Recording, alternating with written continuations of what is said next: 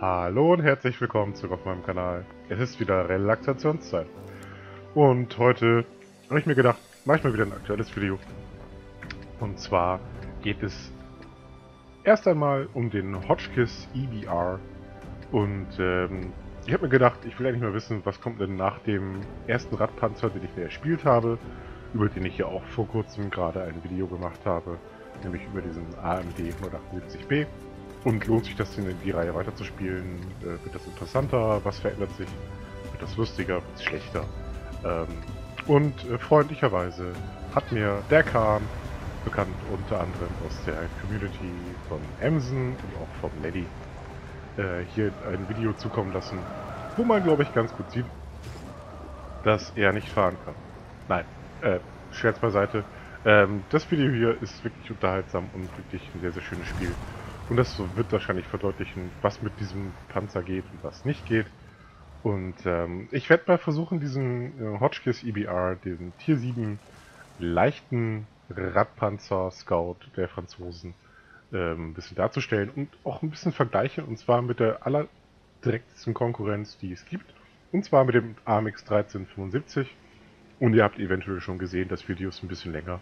Hinterher gibt es noch ein bisschen den AMX 1375 äh, klassischer Panzer, schon seit Ewigkeit in World of Tanks vorhanden. Auch schon immer auf Tier 7 als leichter Panzer. Früher natürlich äh, vor langer Zeit mal mit einem Matchmaking von plus 3, heute plus 2. Ähm, und ich werde die versuchen mal so ein bisschen, äh, ja, bisschen vergleichen und daran eben die Stärken des Hotchkiss EBA hervorheben. Also, los geht's. Ihr seht schon, Stärke des Hotchkiss EBA, Passivspotting. Hm, vielleicht nicht unbedingt. Die Quizfrage ist natürlich hier in dem Fall, ist da überhaupt einer rübergefahren auf die Ostseite dieser Karte? Oder äh, äh, war tatsächlich ähm, die Tarnung zu, zu stark für die relativ schwache Sichtweite dieses Radpanzers? Das zieht sich ja durch alle Radpanzer durch. Beim Vorgänger war es schon so und auch bei diesem Panzer ist es nicht viel besser. 310 Meter Basissichtweite. Ähm, ist natürlich vom Wargaming so gewollt, habe ich schon diskutiert, brauchen wir nicht näher drauf eingehen. Die Basissichtweite ist 310 Meter und man kann nicht etwas einbauen wie äh, die Scherenfernrohre, sondern nur äh, polierte Optiken etc. und äh, muss eben gucken, dass man damit schon die Sichtweite ein bisschen nach oben kriegt, weil mit 310 Metern Sichtweite ist man doch ein bisschen sehr im Nachteil, finde ich. Ich habe auch einmal geschaut, wie hoch man diese Sichtweite denn maximal kriegen kann. Ähm, mit wirklich allem dem besten Equipment, was man sich in World of Tanks irgendwie für bestimmte Ressourcen kaufen kann, nämlich das äh, sogenannte Bond-Equipment oder Anleihen-Equipment. Also mit einer Lüftung, die man für 5000 Anleihen kaufen kann, für Optiken, mit Rationen, die man für, ja, früher mal Gold, heute für viele Credits kauft, mit den richtigen Crew-Skills, auf dem Kommandanten. Ähm, und da kommt man dann maximal auf 401,5 Meter Sichtweite. Und wenn ihr mal so ein bisschen auf die Minimap guckt, die Sichtweitenkreise, ich würde mal drauf tippen, der Kahn ist da nicht weit entfernt von. Ähm, allerdings, ja, hat am Anfang nicht viel geholfen. Die Panzer, die darüber gefahren sind, auf die Ostseite der Karte, auf die äh, Landzunge, äh, hat er nicht aufgekriegt, also der Panther war zu stark von der Tarnung her und auch der AMX 1357F, also der auf jeden Fall. Ähm, Im Vergleich zum AMX 1375 muss man natürlich sagen, äh, der um Weiten besser aufgestellt mit 370 Metern. Äh, Im Vergleich zu anderen T7ern nicht unbedingt der beste, da gibt es schon bessere Panzer, Deutsche und Amerikaner allen voraus. Ähm, allerdings kriegt man den, den AMX 1375 locker flockig, ohne äh, das äh, ausgefallene Equipment, das man sich durch äh, die Anleihen kaufen kann, äh, auf 464 Meter Sichtweite, was für ein Tier 7 Scout schon doch eine recht gute Sache ist. Eben mit den richtigen Einbauten und den richtigen Fußgängern. Ähm, ihr habt schon gesehen, vier Minuten sind rum, viel ist noch nicht passiert. Ähm, Kahns Team ist nicht gut. Ob seine Entscheidungen bisher ideal waren, äh, weiß ich nicht. Ähm, allerdings muss man auch sagen, ähm, dieser Panzer kann durchaus kämpfen. Allerdings braucht es sich definitiv seine Zeit, äh, wo er folgerichtet hat. Ähm, Wie auch sein französischer Kollege, der AMX 1375, hat auch dieser Panzer mit der Standardmunition, die der Kahn bisher hauptsächlich verfeuert hat, eine relativ schlechte DPM von äh, 1600 und ähm, die Besonderheit, die ich ja auch schon im vorigen Video über den AMX 178, über den AMD 178B ähm, vorgestellt habe, ist die Hochexplosivmunition, die der Kahn gerade verfeuert. Ähm, die äh, hat eine sehr hohe Penetration mit äh, 75 mm. Äh, mit, bei anderen Geschützen dieses Kalibers, nämlich 75, ähm, sucht man dazu eine HE-Penetration definitiv vergebens. Ähm, und wenn man das effektiv anbringt, wie der Kahn uns gerade gezeigt hat, dass das möglich ist, dann ähm, sieht man, dass man auf 2400 dPm kommt. Und im Duell gegen andere leichte Panzer, gegen Panzerjäger mit schwacher Panzerung, gegen den ein oder anderen Medium, ne? 75 mm Penetration reicht da durchaus, oder auch gegen Artillerien, wie wir hier gerade sehen, ähm, sind 2400 dPm doch definitiv eine Ansage. Ähm, die Penetration auf der AP, wenn wir gleich mal bei der Kanone bleiben, hat 160 mm an Penetration. Ähm, Im Gegensatz zum AMX äh, 1375, der da 144 mm hat, ist man da also durchaus im Vorteil. Ähm, wenn man dann äh, Premium lädt, um für äh, fehlenden Skill oder aber äh, dicke Panzerung zu kompensieren, ähm, ist man bei 190 mm auf der APCR-Munition hier auf diesem Panzer da hat der AMX 1375 ein bisschen mehr zu bieten, 202 mm. Nicht großer Unterschied, aber kann eben doch mal, äh, ja, wichtig sein. Die Einzelzeit der Kanone, hier auf diesem Panzer wirklich richtig, richtig gut. 1,6 Sekunden ist da die Basis, ist definitiv der beste unter allen Tier 7 Scouts. Und ähm, wie ihr seht, durch das äh, erleichterte Auto-Aiming, äh, was auf diesen Radpanzern eine besondere Eigenschaft darstellt, ähm, und relativ gute ähm, Abweichungswerte während der Fahrt, kann man hier den einen oder anderen Panzer doch relativ leicht während der Fahrt rausknipsen.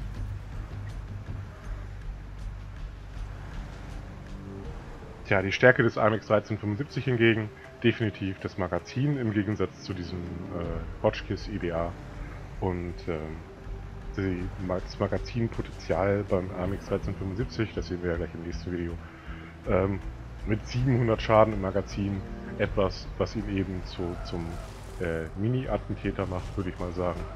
Die großen Attentäter sind ja definitiv sowas wie die Red auf Tier 10, aber mit 700 Schaden so eine Art Mini-Attentäter, der äh, angeschossene Ziele eben ganz fokussiert rausnimmt, indem er die Seite und äh, das Hinterteil anvisiert und dann die vier Schuss versucht, sauber anzubringen. Der große Vorteil des Hotchkiss EBA ist natürlich die Geschwindigkeit. Ähm, wir haben schon gesehen, ähm, Beschleunigung mit 36,33 PS pro Tonne. Absoluter Topwert auf Tier 7. Ähm, und äh, der AMX 1375 hinkt da hinterher, auch wenn er auch zu den besseren von der Beschleunigung gehört. 70 km/h ist natürlich auch Topwert auf Tier 7. Ähm, da ist man richtig gut unterwegs. Das Besondere an diesem Radpanzer ist natürlich, dass er auch rückwärts sehr schnell unterwegs ist. Die meisten Panzer, das kennt ihr schon, auch wenn die vorwärts richtig schnell sind, sind da limitiert auf 22, 23 km/h, wenn man mal die schwedischen äh, Top-Tier-TDs herauslässt. Die haben da ja auch schon besondere Eigenschaften bekommen. Und mit 45 km/h ist hier rückwärts doch einiges äh, möglich, sag ich mal. Und ähm, man kommt eben sehr, sehr schnell über die Karte und kann eben durch diesen unglaublich schnellen Rückwärtsgang einiges äh, möglich machen, auf jeden Fall. Also Gegnerverwirrung und an Manövern. Ja, der Kahn, wie habt ihr gesehen, hat seine Mobilität genutzt, um an diversen Stellen hier auf der Karte aufzuräumen. Hat äh, gegnerische Lights bekämpft, hat die Artillerie bekämpft, hat vereinzelte Heavys bekämpft. Ähm, ist ganz schnell mal wieder zurück in seiner Basis, um hier wie ihr äh, gerade schön seht, mit dem erleichterten Auto-Aim den KV-2, der gerade die Artillerie weggenascht hat, zu bekämpfen. Und kann sich jetzt ganz lockerflockig wieder aus dem Staub machen. Wie schon gesagt, 36,33 PS pro Tonne bringen den Panzer hier ganz ganz fix auf die fast auf diese 70 km/h. Und ähm, man muss natürlich teilweise ein bisschen bei der Steuerung aufpassen, weil ihr seht, das ein oder andere Mal hebt man dadurch gerne mal ab.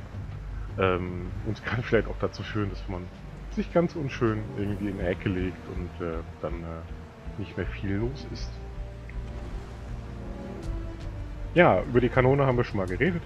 Über die Besonderheit mit der HE-Munition, die man auf jeden Fall immer auf dem Schirm haben sollte, haben wir auch geredet. Ähm, was mir aufgefallen ist, als ich die Tier 7 Scouts mir angeschaut habe, unter anderem eben hauptsächlich mit dem Fokus auf den Hotchkiss EBR und den AMX 1375 als Vergleich, ist ähm, dieser Hotchkiss EBR, und das habt ihr vielleicht am Anfang des Gefechts auch gesehen, hat wirklich eine sehr, sehr große Munitionskapazität dabei. Nämlich 60 Schuss, das reicht für über 10.000 Schaden. Wenn man den AMX 1375 dagegen ähm, betrachtet, der hat es doch sehr, sehr schwer bei, bei der Munitionsauswahl. Der hat nämlich genau 36 Granaten dabei. Das in einem 4-Schuss-Magazin. Das heißt, man hat insgesamt 9 Magazine. Und da muss man schon genau gucken, wie viel AP nimmt man mit, wie viel APCR nimmt man mit. Nimmt man überhaupt hochexplosive Munition mit? Die ist beim RMX 1375 nicht besonders gut. Und äh, da äh, muss man schon ganz genau schauen, äh, was man da treibt. Die Wanddrehung zu vergleichen bei diesen Panzern ist natürlich ein bisschen schwierig. Der AMX 1375 ist mit 42 Grad da nicht schlecht. Ähm, bei einem Radpanzer muss man natürlich äh, schauen, der kann die Wanne nicht auf der Stelle drehen in Grad pro Sekunde. Der hat einen Wendekreis. Trotzdem gibt Wargaming da einen Wert an von 34 Grad pro Sekunde. Also man muss definitiv schauen, dass man Manöver, Fluchtwege etc. möglichst gut plant. Was die Überlebensfähigkeit angeht bei beiden Panzern, ähm, die Panzerung ist natürlich nicht gut. Ähm, da braucht man gar nicht mehr auf die Panzerplattendicke oder Effizienz etc. eingehen. Äh, man wird üblicherweise durchschlagen. Man muss, wenn man auf diese Radpanzer schießt, immer ein bisschen aufpassen, wenn man mit HE schießt, dass man äh, versucht nicht die Räder zu treffen, auch wenn das wahrscheinlich schwierig wird bei der Geschwindigkeit, die diese Geräte üblicherweise drauf haben. Ähm, weil die äh, Räder ganz gerne die äh, HE-Penetration abfangen und einfach dann ja platzen und der Panzer dann einfach langsamer weiterfährt. Ähm, Strukturpunkte ist definitiv der IBA Hotchkiss hier. Äh, ganz, ganz unten in der Liste der 7er Lights mit nur 750. Man muss also genau aufpassen, wie man da vor die Flinte fährt und eventuell auch mal einen Schuss frisst. Und äh, man sollte definitiv auch keine RAM-Aktion starten mit diesem Panzer, genauso wenig wie mit dem AMX 1375. Äh, beide wiegen knapp unterhalb von 15 Tonnen, sind damit auch ähm, die leichtesten Tier 7 Scouts und da muss man wirklich ganz, ganz genau hinschauen, äh, dass man äh, nicht allzu äh, sehr an irgendwelche Panzer aneckt. Auch natürlich möglichst zu Beginn des Gefechts äh, gegen die eigene Panzer. Ja, der Khan hat hier das äh, Gefecht mittlerweile auf eine ganz, ganz äh, spannende Ecke getrieben. Er tritt hier an gegen den T29, gegen einen der besten Tier 7 äh, Heavys, die es überhaupt gibt. Er hat die ganze große Karte zwar als Auslauf und hat natürlich viele Möglichkeiten, allerdings der T29 steht in seinem Cap und ähm, wirkt jetzt hier doch allerdings ein wenig arg hilflos. Ich weiß gar nicht, ob er ihn überhaupt spotten kann hier hinten, wenn er hinter diesem Büsch steht. Ähm, ich würde mal sagen, ja, weil eigentlich die amerikanischen Schwertpanzer doch recht gute Sichtweiten haben. Aber der Karl macht das hier sehr, sehr geschickt, wartet genau ab, hat schön resettet und der T29 ähm, macht, wie ich denke, jetzt hier schon einen größeren Fehler, indem er nicht versucht, ähm, den Kahn wirklich ganz aggressiv in die Enge zu treiben. Weil der Kahn ist definitiv ein One-Shot für den T29. Und ähm, ja, der T29 lässt sich hier zu viel Zeit, äh, hätte hier schon lange vorne ranfahren müssen, zieht sich jetzt zurück und ähm, da hat der K natürlich jetzt alle Möglichkeiten in den restlichen 80 Sekunden dieses Gefechts. Der T29 kann nicht mehr erfolgreich durchkäppen. Ähm, das hat er sich zu spät überlegt, da wieder zurück in den Kreis zu fahren. Und äh, tja, gucken wir doch mal, wie dieses Gefecht, was äh, wirklich, wenn es denn positiv endet, in einem sehr, sehr schönen und guten positiven Ergebnis endet, ähm, wie der Kran das Problem gelöst. Der T29 wartet immer noch darauf, dass äh, der Hotchkiss IBA wieder vom Osten angreift. Allerdings, ähm, tja, falsch gedacht. Jetzt hier mit sehr viel Risiko Aber man sieht die gute Einzelzeit und das gute Gunhandling auf diesem Panzer machen es dem Kahn leicht. Und äh, er kann den T29 hier am Ende tatsächlich besiegen. Dieses wirklich gute Ergebnis ähm, resultiert nicht in einem Panzer, sondern nur in einer ersten Klasse. Das zeigt, dass wahrscheinlich noch recht viele gute Spieler auch beim Hotchkiss IBA vor kurzem erst waren. Ähm, mit einer Bradley Waters Medaille für neun Abschüsse, Pascucci Medaille für die Artillerien, die er wegnaschen konnte, Verteidiger Großkaliber und natürlich Krieger. Äh, fast 3600 Schaden geschossen mit neun Abschüssen. 1431 Base XP für eine erste Klasse ist echt bitter. Ich würde mal vermuten, wenn man noch so zwei, drei Monate wartet, ist das wirklich sehr, locker ein Panzer.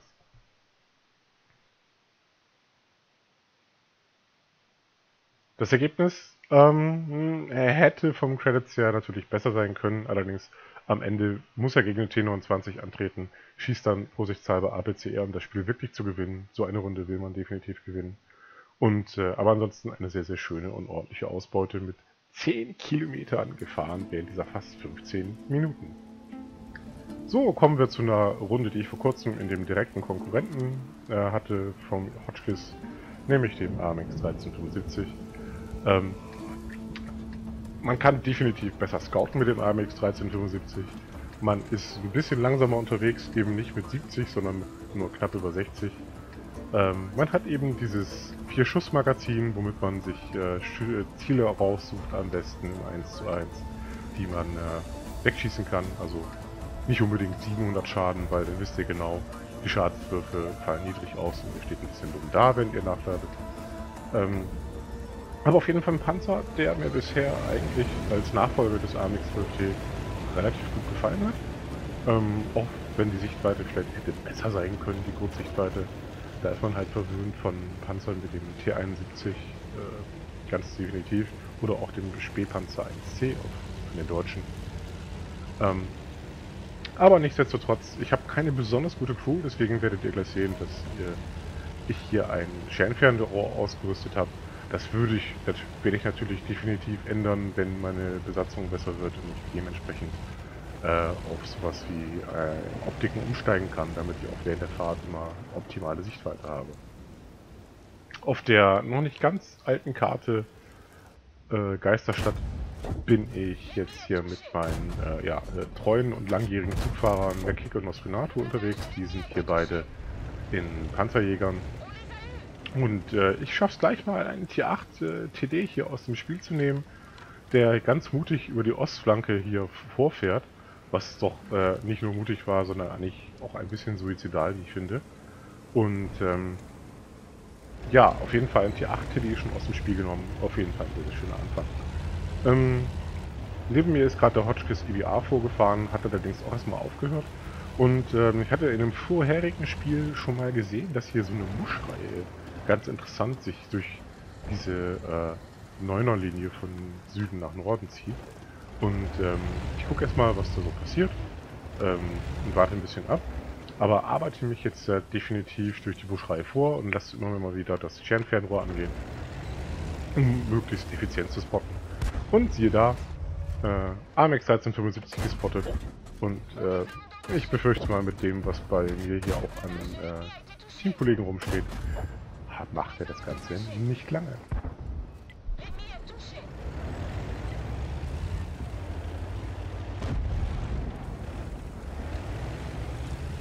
Ja, mit dem AMX arbeite ich mich jetzt weiter vor durch diese Buschlinie und äh, werde auch so gut wie es geht den größten Teil des Gefechts hier auf der rechten Seite ähm, verbringen und meine äh, Teamkollegen unterstützen.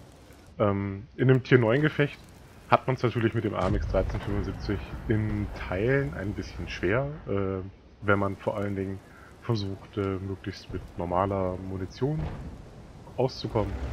Ich habe ähm, von Anfang an in den AMX 1375 auf aus der Erwartung heraus, dass ich sehr oft in sehr herausfordernden Matchmakings gegen 8er und 9er lande. Gleich nur APCR geladen. Wie ich schon sagte, APCR äh, hat hier 202 mm Penetration. Das ist eigentlich ganz ordentlich, wenn man vor allen Dingen äh, gegen 8er und äh, 9er kämpft, die man auch dann viel in die Seite schießen kann. Gegen 9er natürlich von vorne, die schwer gepanzert sind, äh, sind 202 auch nicht genug. Aber ähm, es fahren mittlerweile einige Panzer im Spiel rum, die, würde ich sagen, recht trollig sind, was die Panzerung angeht. Und äh, da kommt man mit 144 mm echt nicht weit. Außer, dass man eben freundlich anklopft. Und äh, da ich eben nur 36 Schuss im AMX 1375 habe, geht es wirklich darum, das, äh, was man da mit sich herumträgt, möglichst effizient einzusetzen. Und ähm, deswegen für mich nur APCR. Ich weiß, der Panzer wird dann relativ teuer zu fahren. Am Ende des Ergebnisses des Spiels sehen wir das Ergebnis, was auch aus einer sehr, sehr guten Runde dann für ein Credit-Ergebnis rauskommt. Aber äh, ganz ehrlich, nach vielen Jahren World of Tanks ähm, gibt man sich mit bestimmten Dingen ab und mit bestimmten Dingen eventuell auch nicht mehr. Dementsprechend äh, sehe ich das als nicht so dramatisch an. Ja, ich versuche hier weiter irgendwie meine Teamkollegen zu unterstützen.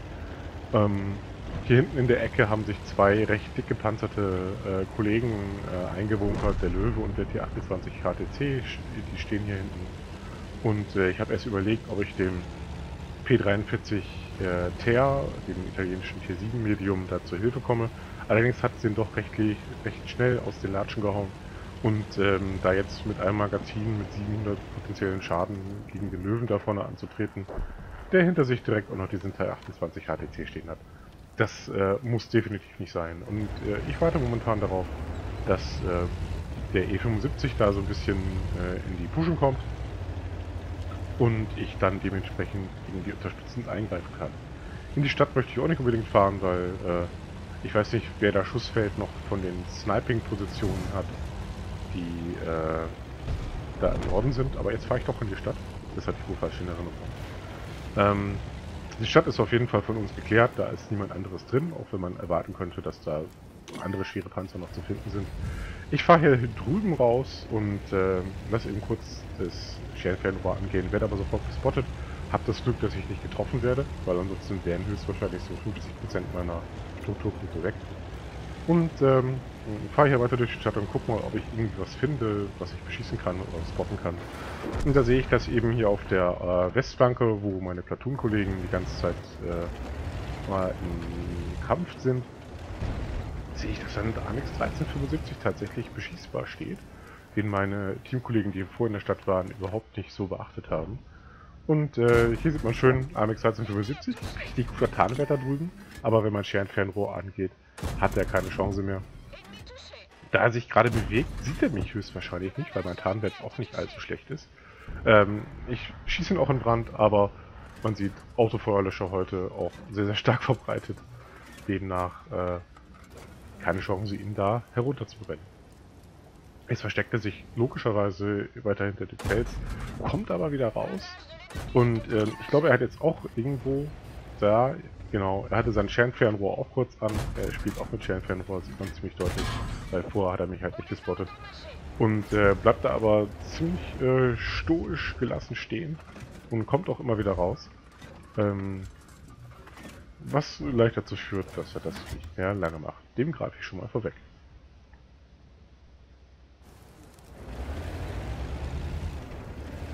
Was immer wieder schade ist, was man gerade in unserer Base sieht, ist, dass ganz hinten noch so ein Stützwagen S1 steht, ähm, warum man diese Panzer so oft so gespielt sieht, äh, finde ich persönlich sehr schade, weil da hinten nutzt da absolut niemandem was.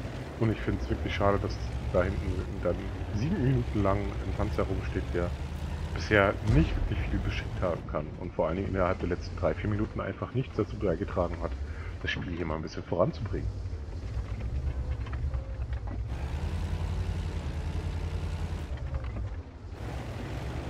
Ja, das Spiel hat gerade definitiv so einen kleinen Hänger, wenn ich so sagen darf. Aber ich habe gerade gesehen, dass äh, der E75 den Löwen tatsächlich herlocken konnte. Und oh, das ist wirklich ein sehr, sehr saftiges, schönes und weiches Ziel. Der Löwe äh, wollte gerade den E75 angreifen, hat sich scheinbar relativ sicher gefühlt. Und äh, dem konnte ich jetzt drei schöne Treffer in die Seite jagen. Aber wie man sieht, Löwe-Seitenpanzerung recht dick, 202 mm Penetration mit APCR, also relativ hohem Verlust über Entfernung an Penetration. Ging tatsächlich der letzte Schuss nicht mehr rein. Und na, jetzt wird's oh, 4 von 4. Schönes Magazin, hat gereicht. Ich habe erst gedacht, wo er da anwinkelt, ähm, komme ich wieder nicht durch. Weil APCR doch über Entfernung etwas mehr Penetration verliert. Der Nail Reload ist jetzt wieder durch und den Löwen kann ich erstmal aus dem Spiel nehmen. Und den T28 HTC äh, ebenfalls jetzt befeuern. Wobei, ich denke mal, so ein E75 braucht nicht viel Hilfe eigentlich beim T28 HTC. Ähm, ja, nichtsdestotrotz nehme ich diese, äh, wenn ich schon so ignoriert werde, nehme ich das doch gerne mit. Ähm, warum der ES6 neben mir so äh, wenig damit zu tun haben möchte, was hier gerade auf dieser Flanke passiert, weiß ich nicht. Ähm, mich es nicht. Also einfach deswegen, weil ich hier bei diesem Spiel, was relativ gewonnen aussieht, ziemlich in Ruhe äh, den Schaden mitnehmen kann. So, jetzt kommen wir zu einer Situation, die ich eben schon beschrieben habe. Äh, ein ganz isolierter Panzer, den ich jetzt äh, ja, abfahren möchte. Natürlich geht der erste Schuss nicht rein, der E75 reagiert, kriegt auch einen Schuss hinein. Und äh, von mir reichen drei Schüsse, um diesen P43T aus dem Spiel zu nehmen. Also bisher eine Runde, mit der ich sehr zufrieden bin. Äh, definitiv keine gute Scouting-Runde. Äh, kann man auf dieser Karte auch durchaus haben, weil ich habe ja schon gezeigt, da auf der 9er Linie sind sehr, sehr viele schöne Busche, über die man sich vorarbeiten kann. Da kann was gehen. Aber diese Runde definitiv hat sich ausgezeichnet durch äh, das Unterstützen. Und unterstützen kann man mit dem AMX 1375 sehr, sehr schön. Man hat das Magazin dabei, man kann damit immer sehr schön Gegner pisacken. Und äh, das war doch relativ effizient. Hier mit dem Panzerass, einer Orlix-Medaille und dem, ja, ich glaube, Panzermeisterschützen heißt es, für Schießen über bestimmte Entfernungen mit bestimmten Schaden. Äh, über 3200 Schaden erzielt. Von den 4200 potenziellen Schaden, nee, 4800 potenziellen Schaden, die dieser Panzer hat, schon einiges angebracht. Ähm, 1301 Base XP. Wirklich ein schönes Ergebnis, hätte ich gar nicht gedacht. Äh, aber dadurch, dass wir hauptsächlich auf tierhöhere Panzer geschossen haben, natürlich äh, doch zu erwarten am Ende. Wie ihr gesehen habt, äh, volles APCR-Loadout, 40.000 im Minus, dafür 6.000 XP mitgenommen aus diesem Event. Sehr zufrieden. Danke, dass ihr wieder so lange da wart und wir sehen uns nächste Woche. Adios.